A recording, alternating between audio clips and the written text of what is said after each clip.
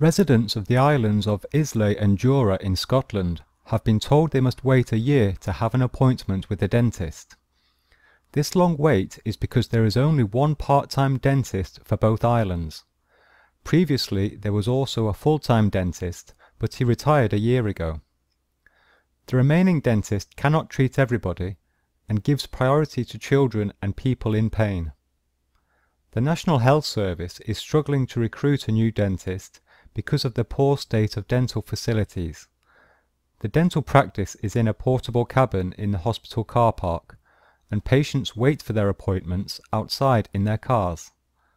To solve the problem, the National Health Service is considering moving the practice into the hospital building. Residents who don't want to wait a year for a checkup get a ferry to the town of Tarbert.